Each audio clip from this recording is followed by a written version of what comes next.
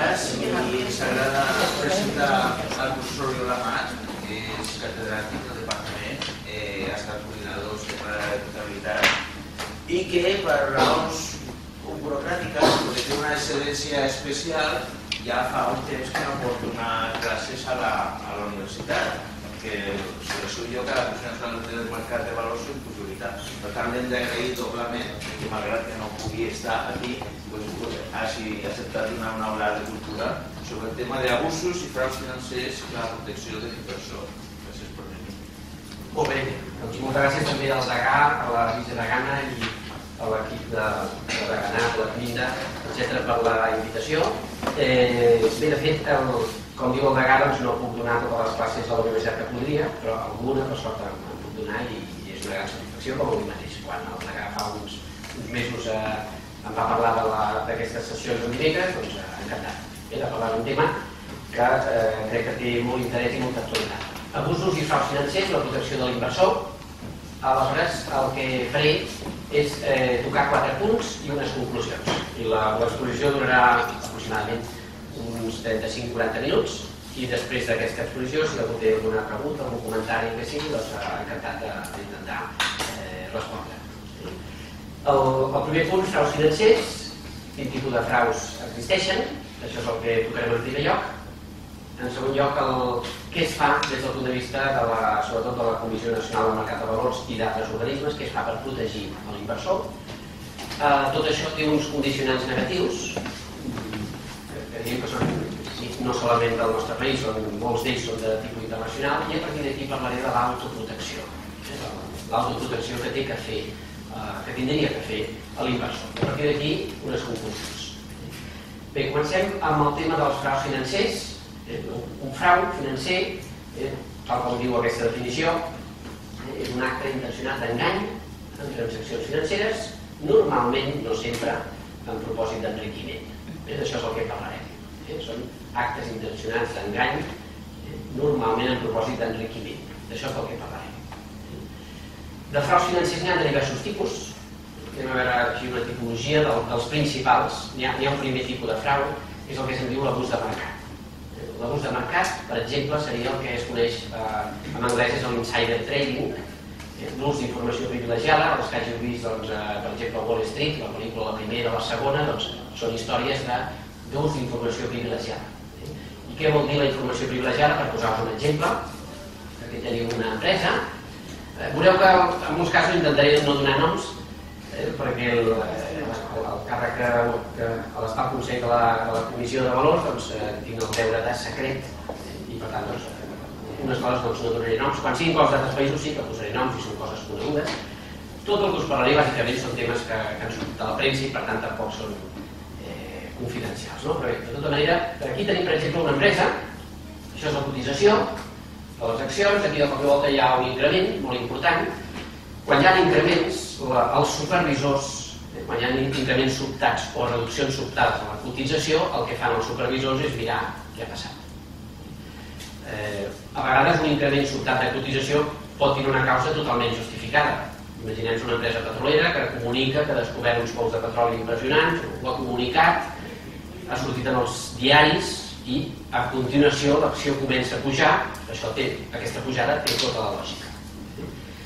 A vegades hi ha pujades que s'analitza la informació que hi havia prèviament a la pujada i no es veu cap explicació lògica, aleshores el que es fa és mirar qui són les persones que han operat. Cada any es fan, eh, de fet cada dia hi ha milions de transaccions, totes, aquestes, totes les transaccions, els supervisors bursàtils del nostre país per descomptat, doncs a través d'una informàticament, doncs tota operació que es fa, quan feu una operació per internet o a través d'una entitat, aquesta operació també en té informació al supervisor i quan es superen determinats eh, números d'accions o de percentatges, i aquests determinats números d'accions o percentatges són, no tenen per massa grans, a vegades són números petits. Eh, normalment s'utilitza el volum de 3.000 euros eh, qualsevol persona que un dia com aquest hagi invertit eh, 3.000 euros, doncs ja s'investiga. I s'investiga qui és i s'investiga si és una persona iniciada.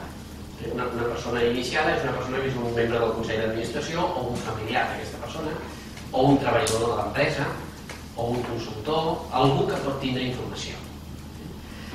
En aquest cas concret, això és una empresa que dos dies després d'aquesta gran pujada va comunicar una OPA, una oferta pública d'adquisició. Clar, aleshores aquí es veu que dos o tres dies abans de que es comuniqui una OPA hi ha una gran pujada. Quan es comunica una OPA, una oferta pública d'adquisició, és una empresa que, que hi ha algú que vol comprar moltes accions d'aquesta empresa. Normalment és per superar el 30% del capital. Quasi sempre que es comunica que hi ha una OPA, normalment la cotització a partir d'aquell moment puja. Això és una, un increment que s'ha produït uns dies abans de que es faci pública aquesta informació de que hi ha hagut una OPA. I això ha passat dos o tres dies abans.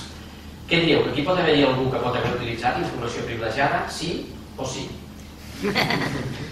doncs, aquí podria ser que hi hagués algú que sabia que d'aquí tres o quatre dies es comunicarà, serà pública aquesta informació, si aquesta persona sabia quin és el preu que es que el que es compraran les accions, eh? aquesta és una, una, era una, una acció que cotitzava a 17 o 18 euros i en dos o tres dies es posa a 25.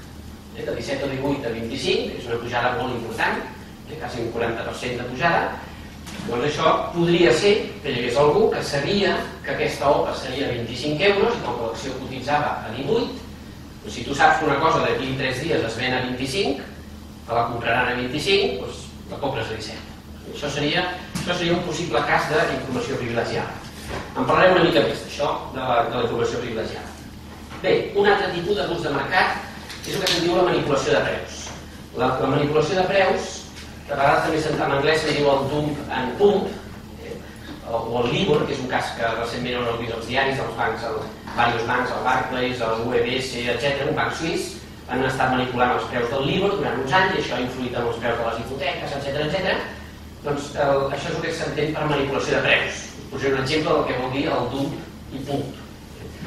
El dump i punt és, eh, normalment es fa amb una empresa poc no massa gran, una empresa de, no es faria amb les, amb les empreses més voluminoses d'una bolsa, sinó empreses mitjanes o petites.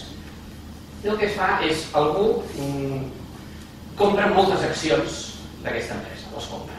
Un cop les ha comprat, divulga informació falsa sobre l'empresa Anem a suposar que és una empresa farmacèutica i que està fent unes investigacions sobre uns tractaments eh, al càncer, anem a suposar, i aleshores un cop has comprat moltes accions, passes una informació que diu que l'Agència Federal Nord-Americana ha donat el vistiplau a un fàrmac que aquesta empresa està treballant. I això surt als diaris. La gent ho veu i diu, escolta, aquestes accions s'han de comprar. Puja l'acció i un cop ha pujat, aquest que ha fet córrer aquest dolor se les ven. Bé, no estic segur que aquestes pràctiques, tots els que esteu aquí no les fareu mai, eh? però en el món doncs, sabeu que hi ha molta ànima caritativa que se li coneixen aquestes pràctiques. Això és el, el i punt. Eh? Treus la informació, pugen les accions, un cop han pujat, que les vens i ja estàs fet una mica de negoci i t'has apropiat alguns diners que, que creus que necessitaves. Bé, hi ha un altre tipus de, de pràctiques, també de fraus financers, que són problemes de transpa transparència i mal govern. Un d'ells és la manipulació comptable, que us poso un exemple que ha sortit als diaris, us poso un retall d'un diari econòmic, d'una empresa, eh, que el, el, en els últims anys va estar dient que guanyava diners, i que aleshores eh, aquesta empresa doncs, ha entrat en concurs de creditors, és una empresa pesquera, eh, i arrel d'una forensi, d'una inspecció a la comptabilitat d'aquesta empresa, doncs s'ha trobat que en els tres últims anys, en lloc de guanyar 66 milions d'euros, segons diu aquesta forensi, i cita aquest diari, doncs en els últims 6 anys, en lloc de guanyar 66 milions, en va perdre 1.000 milions. Això és el que se'n diu, és un exemple de manipulació comptable, i clar, eh, si una empresa té benefici, eh, té deures i realment informa que té benefici, doncs això confon en els inversors. Perquè els inversors el que miren és si l'empresa té beneficis o no té, això és la manipulació.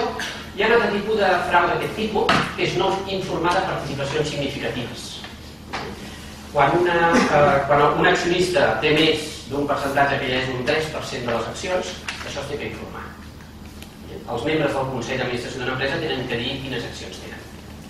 Recentment hi ha hagut algun cas d'empreses molt importants on hi havia accionistes que tenien més del 30% de les accions i que això ho feien a través de paradisos fiscals, que no sabien ben bé qui eren els accionistes.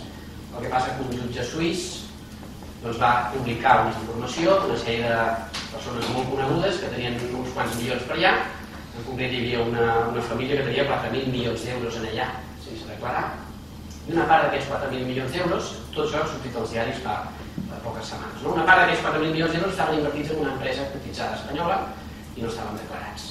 I això és una, no s'ha comunicat una participació. Això té transcendència important. El, el, aquesta empresa a la que m'estic referint fa pocs anys doncs, va intentar ser comprada per una altra. I l'altra no se'n sortia. Va comprar una sèrie d'accions i quan arribava a les juntes de generals accionistes no se'n sortien les coses que volia aconseguir i no ho entenien.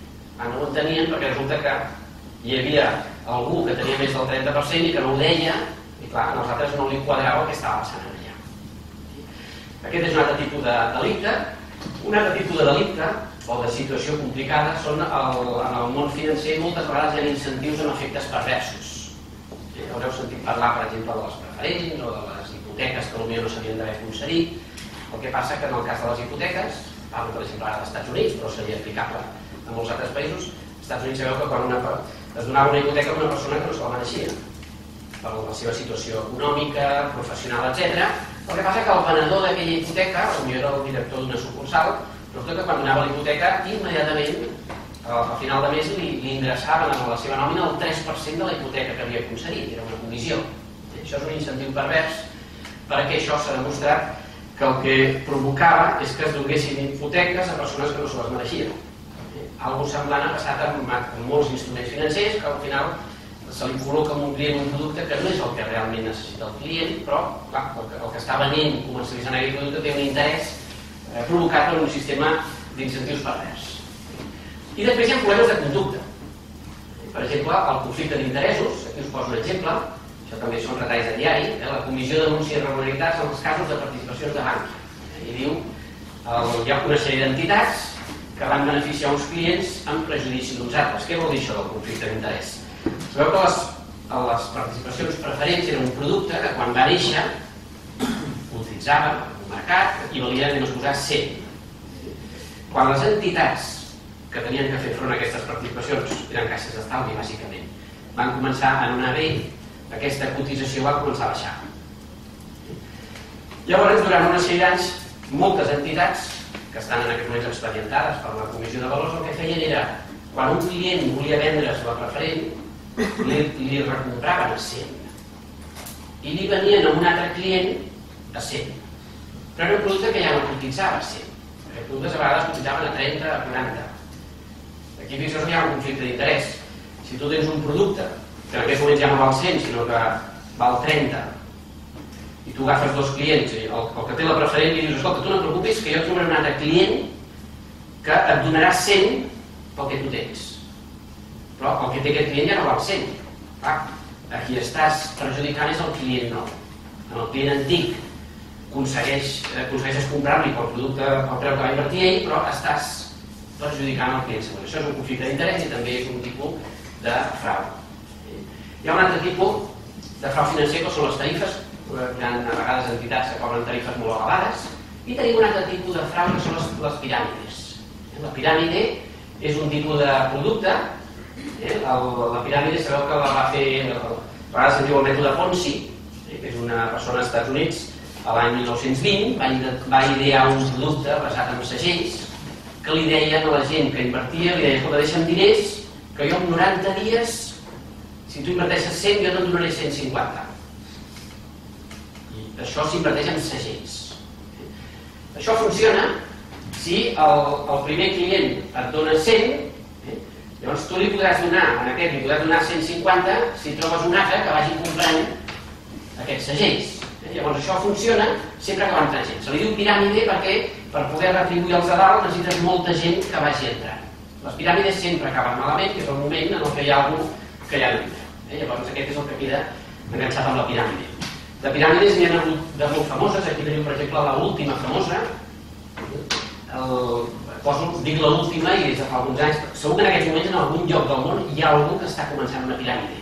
Eh? És a dir, això són estafes o que es produeixen sempre es van reproduint, la gent va caient. Aquí teniu el senyor Madoff, eh, aquest home, un home molt respectable, normalment les piràmides les fan gent en principi respectables, ell ha sigut president de la, de la, del Nasdaq, d'una de les borses de Nova York, aquí li teniu amb la seva dona, una persona molt respectada, eh? aquí teniu les característiques de les piràmides, eh? ofereixen una alta rendibilitat, un màrqueting molt potent, no s'explica mai com s'obté la rendibilitat, ell sempre aconseguia més rendibilitat que la mitja del mercat i no deia mai com ho feia. Eh, poc abans que explotés aquesta piràmide, un, un banc molt important del nostre país va enviar la cúpula a entrevistar-se amb aquest home per dir, escolta, expliqui'ns com ho fa vostè això, no ho entenem. Com és que el mercat està caient un 30% i vostè cada any dona una rendibilitat d'un 10%. Com és això? Llavors ell va dir, el diu Madoff, eh, el Madoff no explica el seu, el seu mètode, perquè si l'explica el copiaran. Si vostès no confien, vagin-se'n. Això va passar pocs mesos abans d'esclatar la, la piràmide i aleshores aquest banc va decidir seguir Eh? Aleshores els clients d'aquest banc han perdut més de 3.000 milions de dòlars eh? per no haver, per no haver eh, sortit. No? Mai va explicar com ho feia. Alguna característica interessant que tenen és, per exemple, en aquest cas l'auditor, que l'auditor és el que ha de donar confiança en una empresa. No? L'auditor era un auditor retirat amb un sol client, amb una oficina de 7 metres quadrats, això és molt dubtós, no? Una, una empresa que mou 50.000 milions de dòlars, doncs que tingui com a auditor aquest, un s'esperaria, una empresa d'aquest volum s'esperaria doncs, una de les grans auditores. El normal és que una empresa gran l'auditi un auditor gran, una empresa mitjana un auditor mitjà i una empresa petita un auditor petit. Que una empresa gran l'auditi un auditor d'aquest perfil doncs és una mica sorprenent. Eh? Aquí tenim també una de les característiques que acompanyen a les persones que fan frau financer, és que normalment els, hi, els hi agrada mostrar el, el, el, el, el bé que viuen. No? Això són algunes de les cases que tenia aquest home, el senyor Maroff, Fa poc parlava amb un inspector de policia que em deia, és un inspector encarregat de detectar fraus en els policies. Eh, I em deia que ell el que fa quan va revisar una comissaria és, abans de res, passejar-se pel pàrquing i veure els cotxes. I eh, llavors, si veuen els cotxes dels policies, veus, veus cotxes que no s'adiuen amb el sou que té la policia, llavors a partir d'aquí aquest home comença a desconfiar. Bé, en el cas del senyor Madoff, el van acabar de tenir, ara està ha canviat de residència, l'està residint aquí, i aleshores, bé, aquest és un avantatge del sistema nord-americà, acostuma a anar molt ràpid en els processos judicials, la presó apareix en seguida, no són tres mesos i després un indult o un preindult, sinó que el, el, és un país on si la fas, eh, la pagues, no? I això també contribueix. Però el fet que hi hagi això no, no evita que es deixin de produir els fraus. Bé, passo al segon punt, que és la protecció de l'inversor. Davant d'aquesta problemàtica, què és el que es fa? Us donaré alguna dada de la Comissió Nacional del Mercat de Valors. Eh? Tenint en compte que el principal objectiu és, eh, sobretot, és la protecció del minorista. El minorista seria la persona individual que compra accions o que fa una inversió. Aquest és l'objectiu principal d'un supervisor de valors. Un altre objectiu és que els mercats siguin transparents i tal, però l'objectiu principal és protegir el petit inversor, que se'n diu minorista. Sí? Bé, per entendre una mica com, com es fa la supervisió a Espanya, dius que hi ha quatre organismes a Espanya que fan supervisió en temes financers. Eh, avui us estic parlant de la Comissió Nacional del Mercat de Valors, però hi ha també el Banc d'Espanya, la Direcció General d'Assegurances i l'ICAC, que té alguna cosa En el cas de la Comissió Nacional del Mercat de Valors, què supervisa? Tot el que té que veure amb inversió financera. Fons d'inversió, accions, pagarés, ofertes públiques de venda, derivats, etc. I també teniu el tipus d'entitats que supervisa.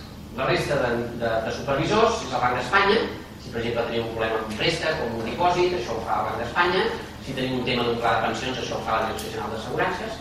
Per tant, em cenyiré eh, exclusivament el que és la Comissió de Valors. Sobre la Comissió de Valors, donar-vos alguna dada. Eh, el mercat espanyol representa el cinquè d'Europa, el número 10 del món. El que es mou en temes d'accions representa el 70% del PIB, cotitzen 158 empreses que el seu valor de mercat representa el 43% del PIB, està més o menys amb la mitja europea, molt per sota de els Estats Units, però perquè són 158 empreses que tenen un pes molt important en l'economia. Alguna dada més, es mou també renta fixa privada, seria per exemple les participacions eh, serien els bons, les obligacions, etc. El saldo viu, bueno, el moviment anual és 14 vegades el PIB, això es mou molt durant l'any, i la, la Comissió de Valors supervisa 8.000 entitats. 8.000 entitats vol dir aquestes 158 que cotitzen i després doncs, els fons de capital risc, les societats de gestores de valors, etc. En total la supervisen 8.000 entitats i 8 milions d'inversors. Quanta gent hi ha per fer-ho? 400. Això és molt o és poc? Itàlia té un mercat semblant i en té 700. Així aquesta xifra a mi em recorda molt el que passa amb la inspecció d'Hisenda. A Espanya hi ha uns 25.000 inspectors d'Hisenda, França és una mica més gran que Espanya, però a França en lloc de 25.000 inspectors d'Hisenda n'hi ha 80.000. Bé, això no és que us estigui demanant doncs, augmentar plantilles a la comissió, però sí donar alguna dada aquestes dades permeten veure fins a quin punt doncs, un tema doncs, és, se li assignen recursos suficients o no. Bé, aleshores, eh, donar-vos alguna dada del que es fa. Us he parlat de problemes de transparència amb la informació, d'ús d'informació privilegiada. Què es fa per intentar veure si hi ha problemes d'aquest tipus? Doncs es, es revisen els informes d'auditoria de totes les cotitzades, 402, a l'any. L'any passat van haver-hi 72 requeriments. Se'ls demana a les auditores que ampliïn informació, de totes se'n van trobar cinc de problemàtiques algú dirà, escolta, i a Pescanova com és que no veu dir res? Clar, Pescanova és un informe net si l'auditor et diu doncs, els comptes de l'empresa expressen la imatge fidel i no hi ha cap salvetat doncs és difícil que puguis saber si allà hi ha problemes o no Bé, però per altra banda es demana a les empreses doncs, el que és l'informe anual de govern corporatiu, que ens donen algunes xifres. Aquesta presentació la tindrà la facultat, per si algú li interessés, doncs la tindreu a la vostra disposició. Vull parlar alguns números per si algú li pot interessar. Eh, es fan 3.000 i pico de requeriments a empreses de serveis d'inversió, eh, després es fan advertències. Eh, les advertències, per exemple, fa poc, fa poc, fa un mes i mig va haver-hi una empresa doncs, que, que es diu Cinquia, que és la del Pocoyo, aquesta empresa té una emissió d'obligacions, de bons, que oferia una retribució del 11%. La Comissió de Valors va analitzar aquesta emissió i tenint en compte els riscos, va fer una advertència dient que un 11% a la comissió li semblava baix, tenint en compte els riscos. Això va tenir conseqüències perquè aquesta empresa doncs, no va canviar l'emissió, la gent no la va comprar i en aquests moments aquesta empresa està en concurs de creditors. Eh? Vegades això és el problema seria que, que és primer l'ou o la gallina. Si no hi hagués hagut l'advertència, què hauria passat? Igual aquella visió hauria tingut una evolució diferent, l'empresa hauria tingut una evolució diferent. Però clar, quan la, mirant els números es veu que hi ha algun tipus de tema del que convé advertir, doncs s'ha de fer. Heu sentit parlar de casos com el de Romassa, que després sortirà un moment, doncs la Comissió de Valors va fer una sèrie d'advertències, fins a set advertències sobre els problemes que tenia aquell producte. I aquí teniu en el cas de l'advertència que va fer la Comissió de Valors sobre els, aquest, aquests bons us deia un 11, perdó, és un 9,75. Aquests bons doncs, tenien aquesta cotització, en el moment que surt l'advertència de la comissió, immediatament la cotització d'aquest producte cau. Per tant, digues. Com es fan les, les advertències? Perquè Nueva Romassa es, es, es publicava a la televisió i no es va publicar cap advertència de televisió. Vull dir, fins a quin punt arriben les advertències? Perquè la gent va comprar Nueva Romassa i va perdre aquests diners. Val. Molt bé, el, sembla que la posem un moment a la nevera eh, si demà vaig pensar la resposta. I aleshores després la primera qüestió a plantejar és aquesta, si sembla. D'acord? Eh? I gràcies per la qüestió. Bé, aleshores, mm, les advertències eh, normalment eh, surten en els opúscules informatius quan una empresa emet un producte, fer un opúscule. I aquest opúscule està a les pàgines web de l'entitat, de l'entitat financera, etc. Després parlarem una mica més dels opúscules. Que en l'opúscule té que haver-hi l'advertència. A vegades l'advertència també es fan, eh, la Comissió de Valors fa Mm, envien notes de premsa als mitjans de comunicació, en el cas de, de Massa doncs, van haver-hi notes, notes que es van enviar als mitjans de comunicació, els mitjans de comunicació reflexaven aquella informació. Però després parlarem una mica més d'això. Bé, el, del tema de la protecció de l'inversor, a Espanya s'aplica una directiva europea que se'n diu MIFID, és la directiva de mercats i productes financers, i aquesta directiva doncs, regula com s'ha de protegir l'inversor per tant, la Comissió de Valors espanyola, que segueix aquesta directiva, té una sèrie de serveis, per exemple, atén consultes, 21.000 a l'any, demana a la gent que informi de, missatge, de missatges enganyosos, és a dir, si alguna vegada veieu alguna d'una empresa, d'una cotització, d'una informació, el que sigui, d'una entitat que fa alguna que no ho fa bé, sobretot us demanem que aviseu. Moltes vegades les sancions o els expedients disciplinaris i tot es fan a partir d'avisos que ha fet la gent. Per altra banda, se tenen reclamacions, si algú se sent perjudicat per, pel que sigui, per una participació preferent, per unes accions, pel que sigui, el primer que s'ha de fer és queixar-se al defensor del client de l'entitat. Si en dos mesos no hi ha resposta, doncs us heu de queixar o podeu queixar-vos a la Comissió Nacional del Mercat de Valors. No té cap cost aquesta queixa. I per donar-vos algunes dades, aquí teniu de l'any 2012, es van atendre 3.400 reclamacions, d'aquestes 3.400 de les resoltes, perdó, de les resoltes el 64% se li va donar l'informe favorable al reclamant, eh, el 64%. Quan hi, ha, quan hi ha una reclamació sempre és algú que reclama normalment contra una entitat de crèdit, normalment. Doncs de, de cada 100 reclamacions que es van atendre, a 64 li van donar la raó reclamant. Què fa el reclamant una carta de la comissió que diuen doncs, que la persona té raó? Doncs el que es fa, això també se li comunica a l'entitat de crèdit i a vegades l'entitat de crèdit ho soluciona. Si l'entitat de crèdit no ho soluciona, doncs el que té aquesta persona amb la carta o la comissió de valors li dona la raó, anar a un tribunal i posar una demanda. Doncs si tens una carta que diu que la, la comissió de valors te, confirma que tens raó, doncs això té molta utilitat. Però a part d'això, la comissió de valors posa multes, sancions, l'any 2012 vam posar 57 multes per 20, eh, un total de 24 milions d'euros i s'ha inhabilitat a quatre persones eh, per un període de 20 anys en total. Això és molt o és poc? Això si mireu les sancions que hi ha al món anglosaxó, sobretot als Estats Units, per exemple, la sanció pel tema del Libor, al Regne Unit, la sanció que s'ha posat en l'UBS doncs és, supera el límit de memòria, que són 1.500 milions d'euros de sanció. Llavors hi ha països on les sancions són més elevades que altres. Lògicament també depèn del mal que s'ha fet. No? Bé, però per altra banda, el, a vegades una, aquest tipus de problemes pot generar també responsabilitats penals. A part d'una sanció pot haver responsabilitats penals. El que fem a la comissió és passar-ho a la fiscalia. Eh? Això us poso un altre detall del diari. Eh? La comissió remet a la fiscalia un informe sobre pesca nova per utilització d'informació privilegiada. Es remet a la fiscalia i aleshores ja és un jutge que té que dir què passa amb això. Nosaltres el, ens quedem en temes de sancions econòmiques. Bé, aleshores, el, propostes de millora temes que s'estan debatent en aquests moments i s'estan produint canvis molt importants com a conseqüència d'escàndols produïts recentment al nostre país i en altres. Sempre la normativa, la legislació va canviant normalment en posterioritat a que es produeixin situacions d'escàndol. Una cosa que s'està fent és reduir molt els terminis de tramitació d'un expedient disciplinari, s'estan incrementant les sancions. Avui mateix porta el diari que eh, la Unió Europea demana a tots els països que per casos d'ús d'informació privilegiada puguin haver-hi penes de presó de fins a 4 anys. I fins ara no hi era això. I ara ja es posa pena de presó de 4 anys. En aquest moment s'estan enduint les penes i després s'està anticipant la publicitat. La Comissió de Valors ja ha fet una cosa des de fa pràcticament un mes, que és fins ara la publicació d'una sanció es feia un cop la persona que havia sigut inculpada recorria als tribunals i quan els tribunals deien si sí o si no, doncs si el tribunal confirmava la sanció, doncs això potser passava 4 anys més tard. En aquell moment la CBB informava d'això. En aquests moments això ja es fa i en el moment que la, la sanció és confirmada pel Ministeri d'Economia, que això va bastant ràpid, ja surt en els diaris. En les últimes setmanes heu vist notícies de sancions que abans se sabien 3 o 4 anys més tard. Eh? Bé, aquí us poso aquest exemple del UBS, del Banc Suís, eh? una conversa interessant, entre el, el gestor de derivats, un dels gestors de derivats d'UBS, eh, que parla de, bueno, parla de Mónaco, d'un llard, etc., són els que feien el frau amb el tema dels derivats.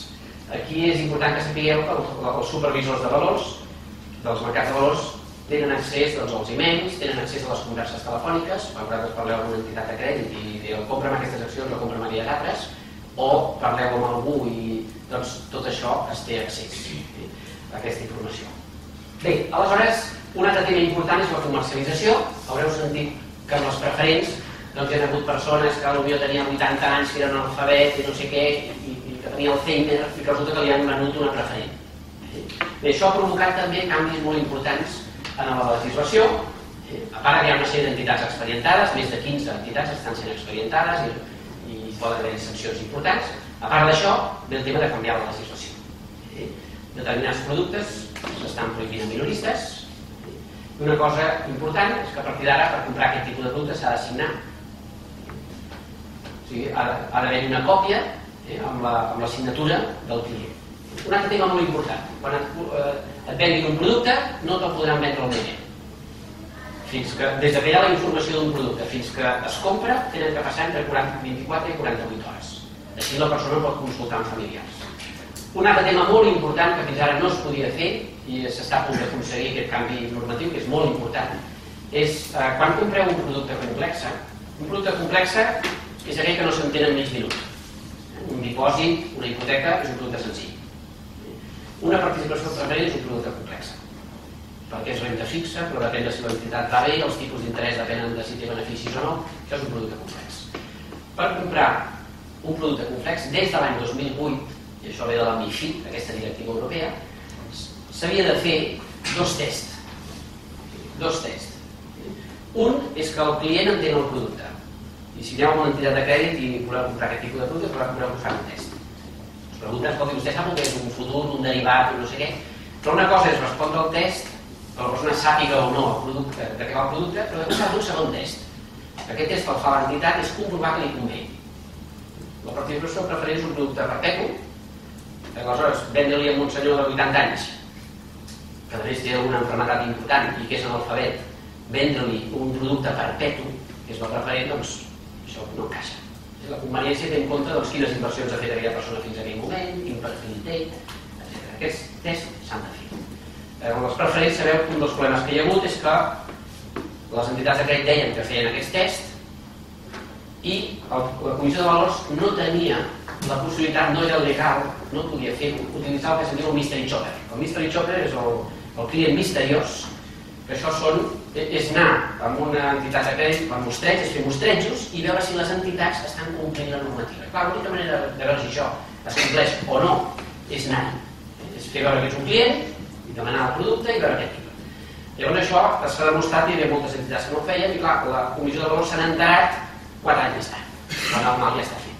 Llavors per això, per poder detectar-ho temps és imprescindible fer aquest, utilitzar aquesta tècnica que està Units s'utilitza des de fa anys i que ara aquí doncs, ja es posarà en marxa.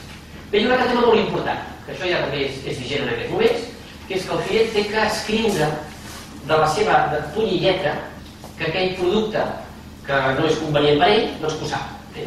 I té que posar eh, compro aquest producte encara que no em convé. És com quan el que, el que fumi compra un paquet de tabac, segons hi ha un anunci d'allò que diu el tabac mata. Eh? Doncs un no podrà dir, que jo no ho sabia, m'ho tenien d'haver dit. Aquí aquests productes es poden seguir comprant, però tindrà que haver de puny lletra, una, la frase és una mica més llarga, la frase diu eh, m'han informat d'aquest producte, sé que no em convé, a més no l'entenc, però així el vull comprar.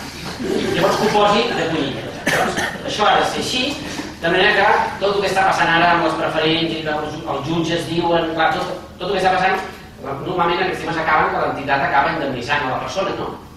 Si hi ha una carta firmada que diu que la indemnització es produeix perquè no s'ha pogut demostrar que s'ha donat la informació, no s'ha pogut demostrar que s'ha fet el test d'idoneïtat.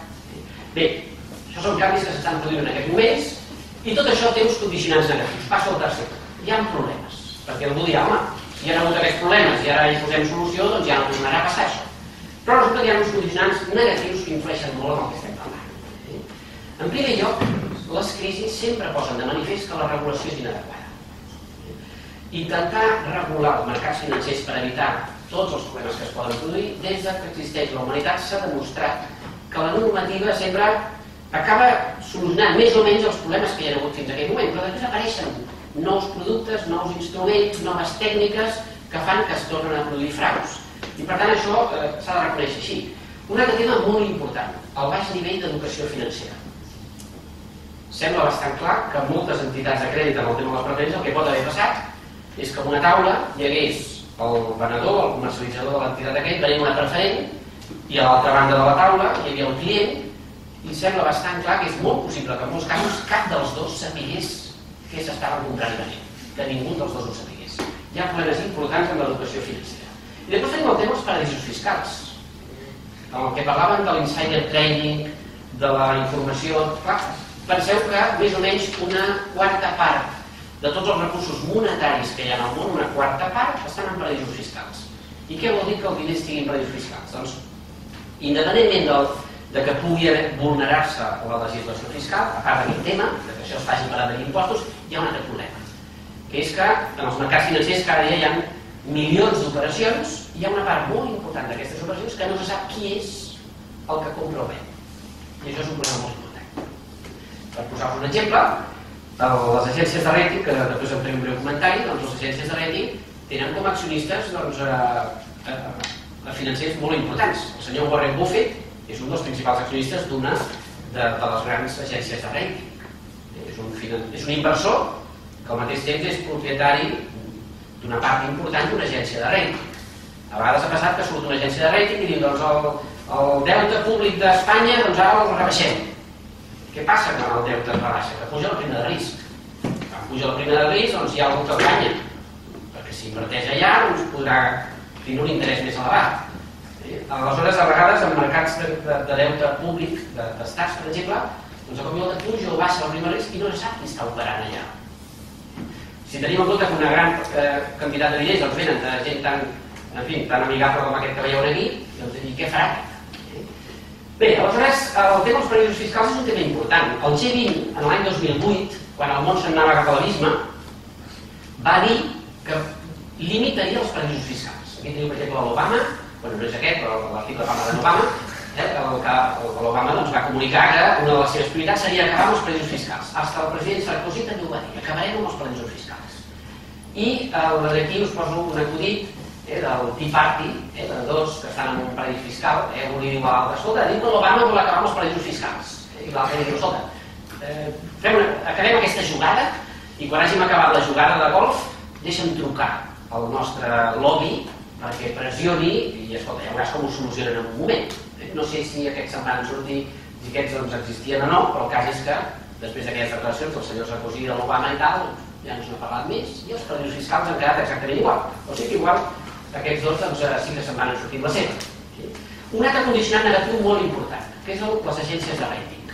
Aquí us poso la cotització de les accions de, de Lehman Brothers, eh, l'acció, aquí tenim la cotització, en Carbassa, tal, tal, tal, tal, tal, eh, i de cop i volta va passar a zero, eh, que és quan va fer la fallida i va passar a zero des de quasi 70 dòlars per acció. I aleshores, aquí teniu el, la, la valoració de l'agència de rating, que era Standard Poor's. Standard Poor's la, la va valorar amb un A més fins al mes de maig del 2008. A més, A més és una valoració estratosfèrica. Ara, si mireu valoracions, doncs veureu que tots són... Bs en veureu poques, veureu moltes T's i veureu moltes altres lletres, però A és una valoració molt bona. Donava una valoració d'A positiu, és veritat que el mes de maig li va treure el positiu, va dir A, però A és encara una valoració molt bona. I va ser una valoració de A fins al mateix dia de la fallida. Amb la qual els que tenien accions d'aquesta empresa se'n van assabentar que hi havia problemes amb Lehman Brothers, doncs, quan ja hi havia res a fer, però les accions no res.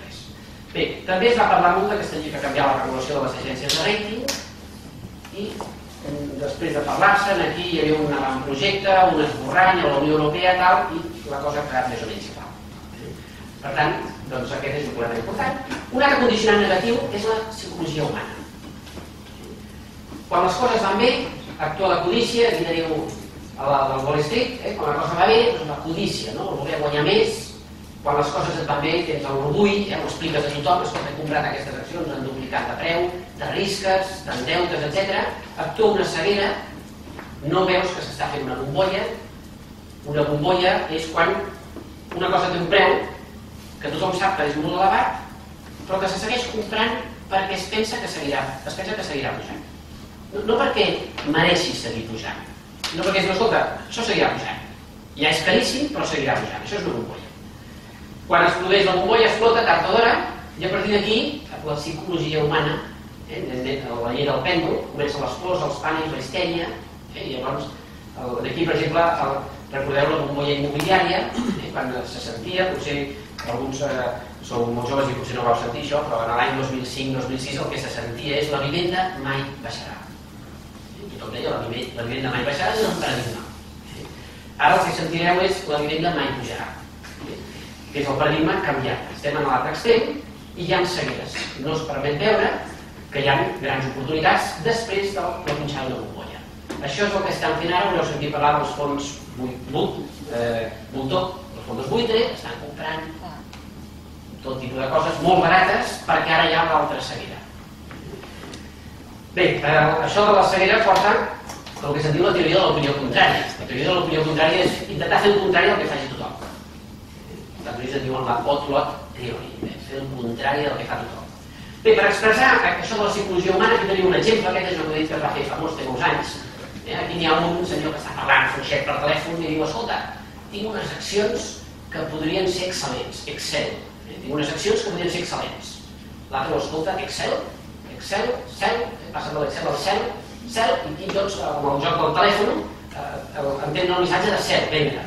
Eh? Un està dient que té unes accions que són excel·lents i al final, al cap d'uns minuts, està tothom venent, eh? perquè això que estem dient és el que passa en una institució de crèdit molt important del país en un matí. Eh?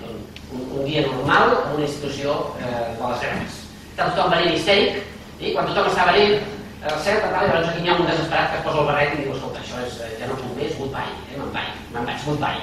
Eh? Goodbye, goodbye, bye, bye, bye, bye, tots, i del goodbye ve el bye i estan tots comprant. Eh? I aquests que estan aquí histèrics comprant, doncs són els mateixos que aquí.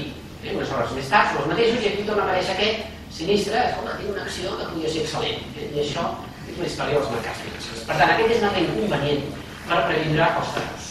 Eh? Un altre inconvenient és, té a veure amb l'ètica Aquí us poso una famosa piràmide de Cressy, eh? motius pel frau. Eh? Hi ha molts motius. En primer lloc, quan hi ha oportunitats. Hi ha a vegades quan tenim unes lleis laxes i garantistes, per posar-vos un exemple què vol dir garantista. El... Imagineu el cas següent, un cas que va passar fa un temps. Una persona, una empresa fa una OPA, comunica una OPA. Quan hi ha una OPA, us deia abans, normalment pugen els preus el cap de setmana abans de comunicar-se a l'OPA, el director financer d'aquesta empresa el passa amb els seus pares, que tenen 75 anys. Els seus pares, que mai havien comprat accions a bolsa, el dilluns van a una sucursal d'una entitat i demanen un préstec de 2 milions d'euros. Això, en plena crisi financera, el banc li dona immediatament 2 milions d'euros i aquestes, eh, els pares d'aquest director financer de l'empresa que farà l'OPA, eh, doncs els pares compren accions d'aquesta empresa, el dimecres s'anuncia l'OPA les accions pugen un 30%, 30% de 2 milions són 10 números, 600.000 euros, i aleshores el dijous es venen les accions, paguen les comissions, etc. Aquí us sembla que hi ha hagut un cas d'informació privilegiada? Sí. Bé, aquest cas, doncs el supervisor corresponent va obrir l'expedient, va trobar que hi havia uns familiars del director financer que havien fet això, i el tema el va posar la, la sanció, però la sanció pot ser recorrida als tribunals. No es va poder demostrar ni en converses telefòniques ni en e-mails, i quan no hi ha ni converses telefòniques ni e-mails, el que fa és preguntar a la persona. Se'ls va preguntar als pares, escolti, el seu fill els va dir que aquesta empresa faria una OPA, els pares van dir que no. Va, el fill, escolti, vostè li va dir als seus pares que hi hauria una OPA, va dir que no. Llavors el jutge els va absoldre. Bé, aleshores això genera oportunitats perquè el, els països que tenen una llei, una legislació massa garantista, un cas com aquest als Estats Units hauria implicat presó, sancions, etc. Un altre problema és la pressió, a vegades la persona té deutes, addiccions, etc. I un altre tema és que el, la persona que fa el frau fa unes racionalitzacions. En primer lloc hi ha baixos estàndards ètics i després dius, escolta, aquí tothom ho fa. Si estàs en un país que a les cúpules hi ha gent Eh, que fa fraus bastant importants, doncs no és el millor exemple. I per altra banda, la gent sempre es considera mal pagada, eh? no, no, no trobareu ningú que us digui, escolta, jo trobo que guanyo massa. Eh? Fa poc en una entitat que hi ha una persona que cobra 600 vegades més que el que cobra menys en aquella entitat. Eh? Hi ha un, un ventall salarial de 1 a 600, entre el que cobra més i el que cobra més. Doncs el que cobrava 600 vegades més deia que ja, era possible que el que de baix de tot guanyava poc, però que ell cada dia s'ho guanyava perquè li dedicava moltes hores, etc. Eh? És a dir, no trobarem persones que reconeguin que estan excessivament pagats o que no s'ho mereixen. Bé, altres condicionants negatius. Hi ha, hi ha gent que defensa que la policia és bona. Eh? Aquí tenim el Gordon Gecko de Wall Street. I dins d'això, un tema important. Això, eh, això ve d'un estudi de la policia dels Estats Units, que és un estudi interessant, eh? que ve a dir el següent. Hi ha una part de la població, una petita part de la població, que mai faran delictes condicions ètiques, religioses, etc., mai, mai delinquiran. I n'hi ha uns altres que sempre delinquiran. Sempre faran fraus perquè, vaja, una cita és l'emoció, creuen que està bé, eh, etc. I al mig tenim una bona part de la població que no faran delictes si hi ha una legislació dura, unes sancions dures, etc. Bé, això ho suposo perquè encara que la legislació o la supervisió siguin excel·lents, sempre hi haurà una petita part de la població que sempre estaran intentant delinquir. Nosaltres podem agafar els bancs i posar les màximes seguretat en un banc, però segur que sempre hi haurà algú interessat en robar un banc. És més, en aquest moment, segur que en el algun lloc del món hi ha algú que està entrant en una sucursal per. I si ara poguéssim eh, vigilar tot el món en temps real, veuríem que hi ha algú que està entrant, un altre que està sortint, és a dir, s'estan produint atracaments a tot el món per més sistemes de seguretat que hi hagi. Bé, aquí teniu el, el, també un cas interessant de, de, de fraus d'aquest tipus. Això són els pagarés de normals, eh? el que mira des de dalt. El, el pagarés aquest del 10%, doncs la comissió de valors va fer fins a 7 advertències. I aquí sembla ser que s'hi han perdut fins a 600 milions d'euros, que eren diners que anaven directament cap a paradisos fiscals, no es feia cap inversió. Això. Ara, ara molta gent diu que, bueno, que no s'entén com es podia fer aquesta inversió aquí en aquestes aules i en bastantes assignatures, quan encara no havia esclatat l'escàndol, alertava d'aquest. Així com en altres temes doncs, no ho hem vist o ens hem equivocat i tal, el de Romassa és un exemple que sí que amb, amb molta antelació. Bé, per tant, ara hi ha gent doncs, que té problemes, no? en aquest cas. Bé, aquí, el, aleshores, passo a l'autoprotecció, per anar finalitzant, aquest és el quart punt. Eh? Primer, prudència. L'autoprotecció del que parlaré ara són els consells de la iaia o potser de les iaies d'abans. No sé si les iaies d'ara fan aquest tipus de recomanacions. No? Primer, molta prudència en temes de finances. En finances s'acostuma a dir que hi ha dues estratègies. Una és la prudent o conservadora, l'altra quina és? Una és la prudent, l'altra la dolenta. Ja, la prudent i la dolenta. Prudència. Un altre tema molt important, fer inversions a llarg termini, perquè a curt termini és impossible saber què faran els mercats. Hi ha pocs temes amb ciència econòmica i financera que s'hagin investigat tant com els mercats financers. I no hi ha cap evidència, cap sistema que ajudi a preveure què pot passar amb la borsa en els propers dies o setmanes. No hi ha cap sistema que s'hagi demostrat útil. En canvi sí que hi ha mètodes i procediments que són útils per preveure què pot passar amb una empresa o amb un mercat a llarg termini. De curt, no. Diversificar Clar, hi ha gent, és sorprenent, però que tenia el 100% de les seves, dels seus estalvis en un sol producte. Doncs això és un error. Quan diem diversificar normalment en empreses, doncs quan inverteixes en empreses té que ser una part dels teus estalvis. Convé diversificar per països i a nivell financer convé distingir una part de l'estalvi que està en immobles. Si algú diu, escolta, jo tinc eh, poc, doncs, escolta, doncs és una plaça de pàrquing. I no cal una illa al Carib. Una plaça de pàrquing, això és un petit dipòsit, això és unes seccions de quan fan eleccions, doncs normalment es diuen unes 10-15 empreses. Productes que s'entenguin. Persones de confiança. I comprant els moments de compra. Quan és els moments de compra? Després de les punxades de les bombolles. Quan hi ha una bombolla, això són els moments de compra. I quan són els moments de vendre? Doncs els moments de vendre és quan la gent comença a parlar això algun dia patarà. Quan es comença a escoltar això és quan s'ha de vendre. Bé, aquí passaré a això, com que per tenir una mica el temps i deixar espai per preguntes, era una referència sobre com detectar maquillatges comptables. Passo a les conclusions, i les conclusions, abans de dir les que tinc aquí apuntades, us volia preguntar a vosaltres quines serien les conclusions que en traieu d'això que he estat exposant? Altra pregunta que us faig. Quina conclusió en traieu? O sigui, quines idees us han quedat eh, una mica més gravades de les que he comentat o quines idees trobeu més rellevants? Tots a la vegada no. Ja diguéssim, escolta, per ser anat a una conferència he tingut un sonat de la Comissió de Valors, que és professor de la Pompeu, i ja, tu mateix. Hi havia regulació insuficient, mal aplicada, una, una, un sistema judicial ineficient i, i que tothom pensava que estava tot molt bé i ningú volia canviar. Molt bé. Per tant, problemes de regulació, problemes de supervisió i problemes de normativa. Molt bé. I d'incentius també, no? Problemes amb els incentius, que a vegades els incentius són perversos. Un incentiu pervers és quan provoca un comportament que és contrari el que es vol defensar. Això és un incentiu pervers. Un exemple d'incentiu pervers no heu sentit parlar. A vegades quan vas per l'estat espanyol per carretera secundària doncs hi ha tota una obesitat. Però heu sentit parlar que això ve, diuen, de que en un moment donat doncs, a la constructora que, que havia de fer doncs, aquelles carreteres li deien, escolta, pagarem a tant per quilòmetre. Va, doncs, doncs, per anar d'aquí allà, el que feien era començar a donar voltes perquè anava per tant al quilòmetre. Molt bé. Això és una primera conclusió. Alguna més? Sí si el banc activar segur que és diferent. Si el banc activar, clar, l'entitat, el venedor o el comercialitzador no sempre defensarà els seus interessos. Per això és tan important fer-ho amb entitats de confiança i persones en les que confis. Què més?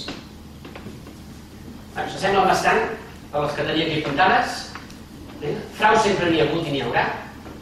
Eh? El risc existeix per la prudència també. Invertir en productes que s'entenguin a llarg termini Eh, cal millorar, això ho dit, la regulació, eh, molt important l'autoprotecció eh, i també el, una referència a l'ètica.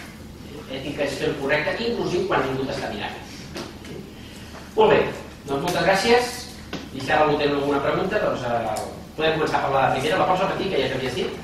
No, que, que tu dius que es van fer fins a 7 eh, avisos i ho Sí. està marcant molt, però tot i així la gent va comprar i els anuncis seguien a la televisió malgrat que s'haguessin fet els avisos. Jo no sé si és competència del mercat de valors, del Banc d'Espanya o de, o de qui sigui, però, però realment el problema hi era i, i ha succeït. Què, què es pot fer amb això? Molt bé, fixa't, què es pot fer? En primer lloc, mm, hi ha, hi ha, hi ha un tema d'educació financera.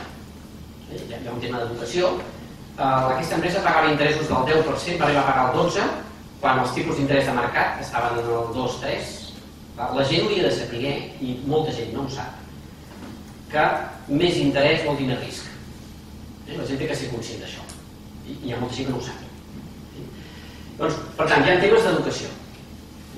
Amb això hi ha un programa que es diu Finances per tothom, que està subscrit per tota una sèrie d'entitats i amb escoles en aquests moments està començant, ja porta 3 anys funcionant, per ensenyar als nens doncs, els conceptes financers bàsics. Si us poseu una, en un buscador d'internet i poseu Finances per tothom, veureu que hi ha doncs, són unes fitxes molt senzilles que intenten això. Però bé, aquest no és el, la principal solució. Un altre tema important, el, el producte que va dissenyar eh, Nueva Romassa era un producte que no estava supervisat per la Comissió de Valors. La Comissió de Valors li va obligar a tota publicitat que feia, a sota deia este producte no està supervisado por la Comissió Nacional de Mercado de Valores. Clar, va dissenyar un producte que no entrava el volum de, la, de, de diners, el termini, les característiques del producte no entrava. Amb la qual clar, es va tenir que canviar la, legislació. Ara sí que entraria, però al moment que va sortir no entrava. Què va fer la comissió? Donar fins a set avisos. Aquí hi ha un tema important que és la responsabilitat dels mitjans de comunicació. La majoria de mitjans de comunicació no van informar d'aquestes advertències. O sigui, la comissió deia, deia aquest producte té alts riscos, etc. Va haver-hi uns mitjans que sí que ho van dir i molts altres no. Aquests que no informaven d'això coincidia que eren eh, mitjans de comunicació on Romassa hi posava anuncis. Eh, aleshores jo us convidaria a buscar pel Google anuncis de Nueva Romassa i mireu a quins mitjans de comunicació sortien. Un dels que més parlava era, per exemple, el que es diu Libertad Digital, que parlava molt bé del producte per la tal i no anunciaven les advertències.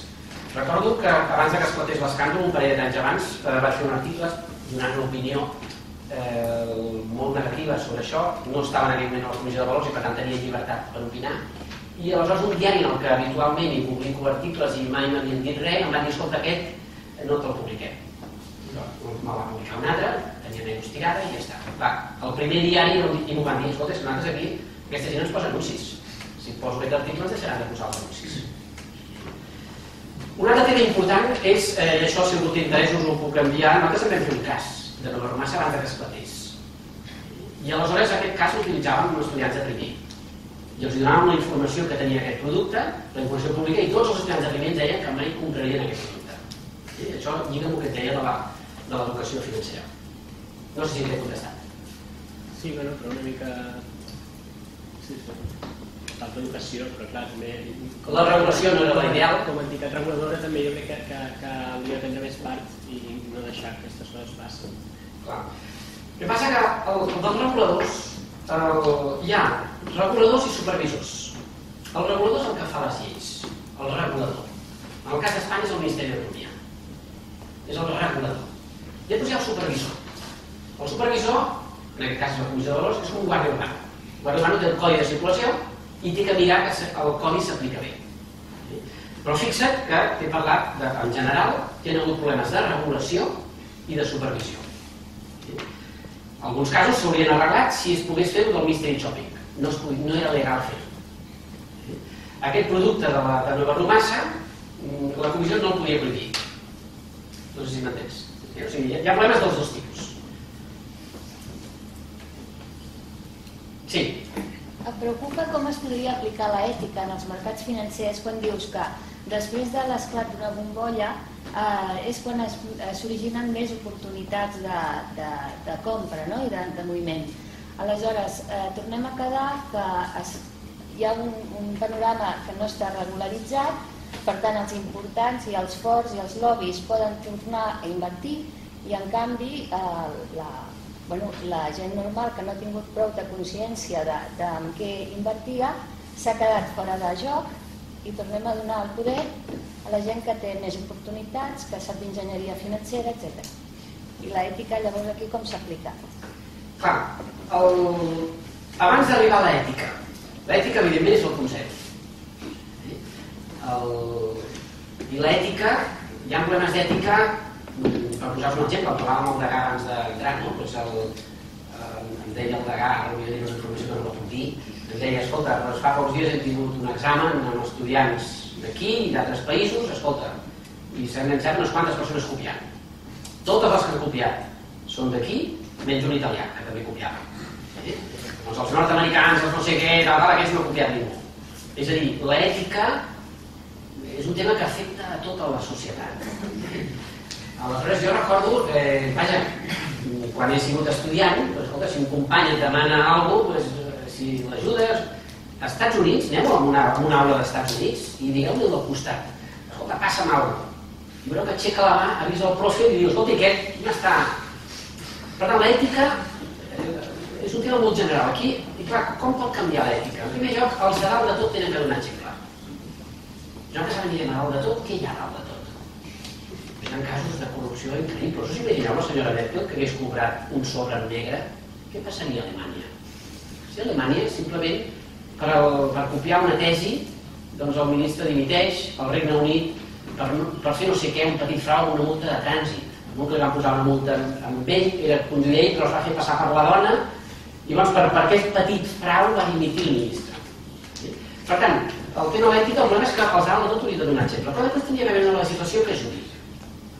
No és el mateix el que passa als Estats Units que el que l'ha fet el senyor Madoff, escolta, està a la presó, veureu que s'hi passaran unes quantes temporades, té un salari de 40, euros, 40 dòlars al mes per netejar lavabos i alguna cosa més, i el, aquest home doncs, li han tret tot, eh, clar, no és el mateix aquest tipus de legislació que una legislació com la nostra, que hi ha algú que deia, escolta, aquí s'haurà d'instaurar el preindult. És a dir, abans de fer un delicte ja t'indulten. Això és el que algú deia que hauria de passar. L'altre dia el van indultar una persona que li tenien, ara parlo de memòria, un, un expresident d'un club de futbol que li van caure, em sembla que eren 6 o 8 anys, que hauria dir presó. Llavors han dit, clar, com que això ha durat molt, doncs, eh, escolta, ho rebaixem a dos. I per què han durat molt? Durat molt perquè per segons he llegit a la premsa, doncs aquesta mateixa persona, els seus advocats han fet tota una estratègia perquè això no és bo. Bé, això als Estats Units no passa. Per tant, hi ha un tema de regulació, de com s'aplica la regulació. Vosaltres heu fixat quan es fiquen fer una infracció de trànsit aquí al nostre país. Normalment, jo fins ara he aplicat una tècnica que no ha funcionat, que és amb el guàrdia urbà o guàrdia civil o el mosso reconèixer-li l'autoritat és a dir, no enfrontar-te, sinó, escolti, té tota la raó, m'he equivocat, procedeixi, mai no em posar la multa. Si ara vas dir, escolti, és que tal, escolta, te la fica. Recordo als Estats Units fa uns anys aparcant un cotxe a l'aeroport de Los Angeles, no m'hi vaig fixar, i es veu que no podies.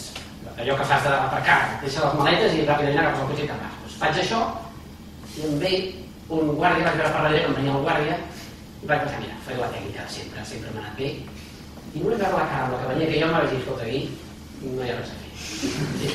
Per tant, és un tema d'ètica dels de dalt que han de donar exemple, de regulació, de supervisió d'aquesta regulació, és a dir, és tot plegat que fa que un país doncs, sigui un dels més corruptes d'Europa. L'altre dia la Unió Europea deia que som el país més corrupte d'Europa, inclús en algun àmbit, superem a Grècia i Itàlia, i que altres, doncs, no sé, no sé si Sí, és un tema que no té solució fàcil, però jo crec que aquí hauríem de començar, sobretot els de dalt, que donin exemple. Sí. Fa poc ha sortit un cas, de, amb el cas de Vallehermoso, que el senyor Lourera va vendre 3 milions d'accions just abans que passés tot el de Panamà. Bueno, aleshores aquí, imagino que aquí ha fet un, ha fet un delicte, bàsicament perquè no informació privilegiada i veia venir que podia passar això de Panamà. Aleshores, en aquest cas, la Comissió de Valors sí que té una prova, perquè és un dels alts directius i sap que té informació privilegiada aquí sí que podria sancionar. Val. Aviam, aquest és un cas del que jo només et, puc, eh, només et podria dir ara coses que he llegit a la premsa. Eh, llavors altres coses no me les puc? Aleshores, el, perquè hi hagi un tema d'informació privilegiada, ha d'haver-hi, en primer lloc, ha d'haver-hi tema. Llavors, una empresa en la que es produeix un sotrac important i aquest sotrac és conseqüència d'una informació que hi ha persones del Consell que lògica, lògicament la tenen, això podria ser un possible tema per investigar informació privilegiada, ús d'informació privilegiada. Si resulta que el que ha comprat o venut accions en els dies abans és un membre del Consell, això és el que se'n diu un iniciat. Per tant, un cas d'aquest tipus, no t'estic parlant d'aquest cas, parlo en general, en un cas així s'investiga.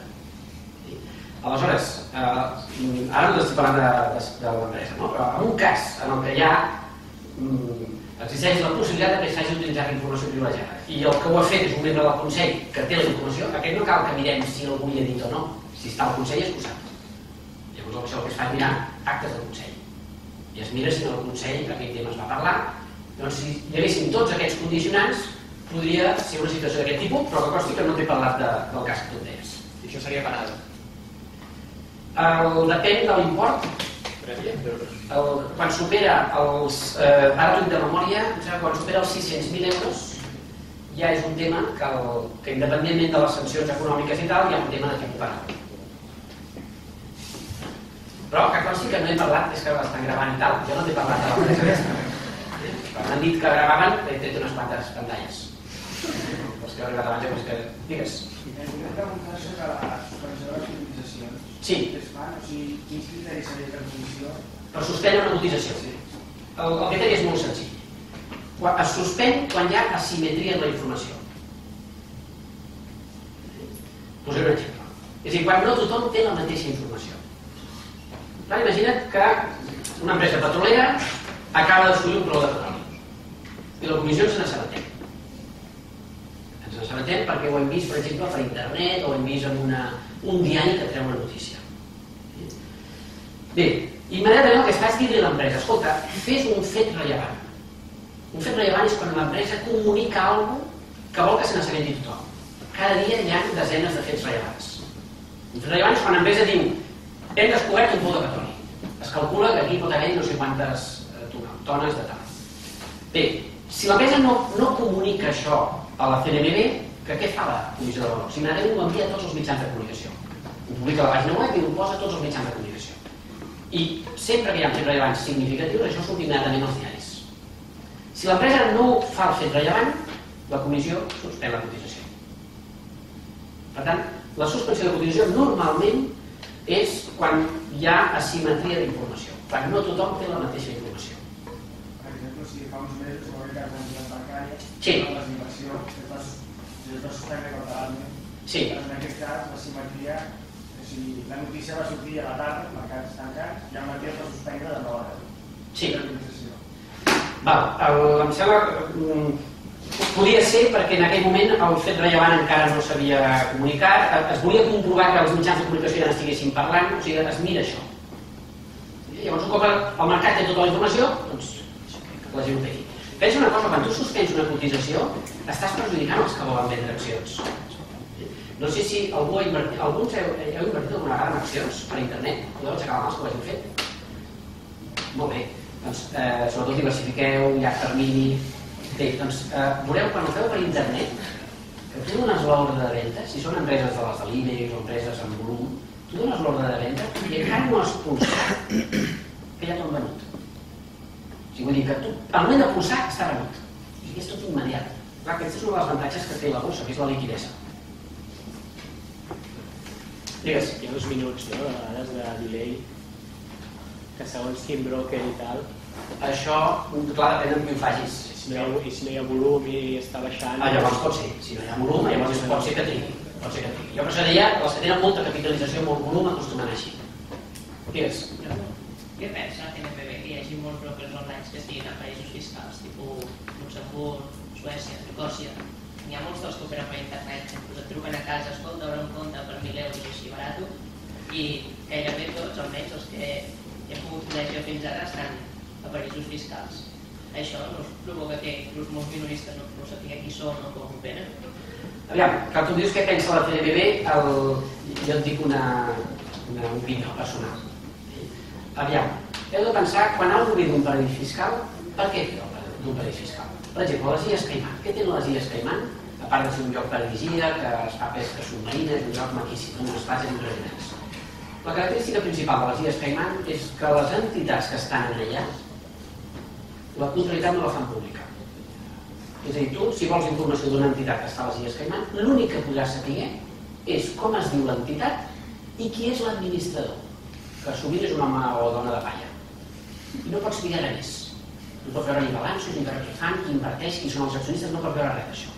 Per tant, si hi ha algú de paradisos fiscals, és una opinió personal, doncs mm, s'ha d'anar molt de compte.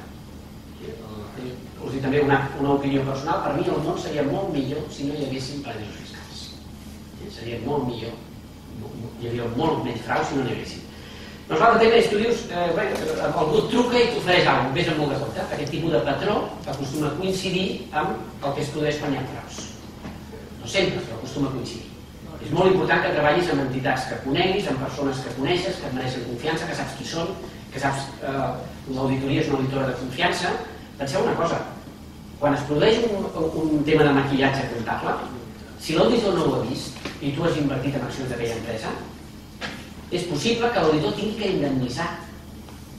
Per tant, és molt important que invertiu en empreses que tenen informes d'auditoria nets i que els auditors són auditors potents que poden respondre del que pugui passar aquí.